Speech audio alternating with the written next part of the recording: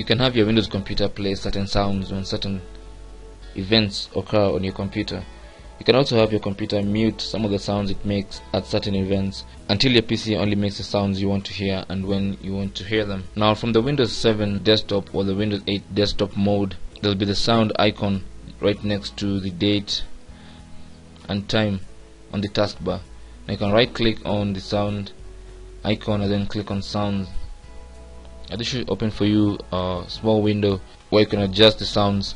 Now right here is where you select the particular event or the action for which you want a sound to be played or to be muted. So for example you can just choose uh, when you close a program and select that event and then from the drop down arrow select uh, the sound you want to hear when you close a program uh, for example I just select that and then you can also test it before you you save changes so that's the sound that will be made by your PC every time you close a program so if you're happy with that just click on apply and then click OK and when you close any program for example I'll just start VLC media player and when I close VLC Media Player should hear that sound.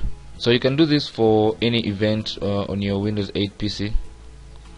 You can choose from uh, a wide range of events and actions that occur in your Windows 8 or Windows 7 PC.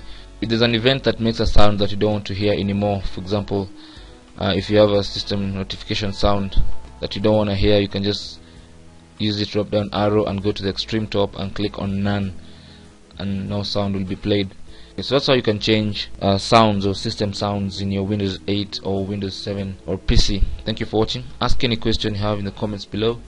And don't forget to subscribe. My name is Chris, webproeducation.org, and I'll see you guys soon.